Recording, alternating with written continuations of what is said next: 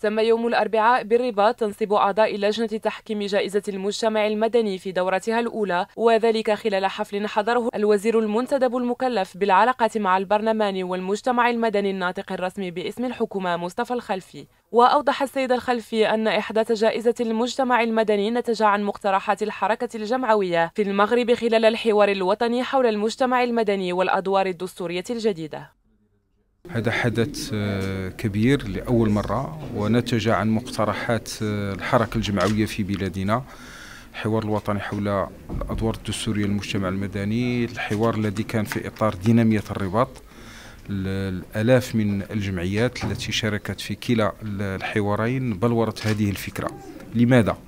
أولا من أجل التثمين وعطاءات المجتمع المدني والاعتراف بها. وتحفيز عليها. وتأتي هذه الجائزة التي تم إحداثها بموجب مرسوم صدر في 4 مارس 2016 تقديرا للإسهامات النوعية والمبادرات الإبداعية لجمعيات المجتمع المدني والمنظمات غير الحكومية وكذا للشخصية المدنية التي قدمت خدمات متميزة للمجتمع. ويتم تسليم الجائزة في 5 نوفمبر من كل سنة وهو اليوم الذي صدر فيه الظاهر الشريف المتعلق بتنظيم حق تأسيس الجمعيات سنة 1958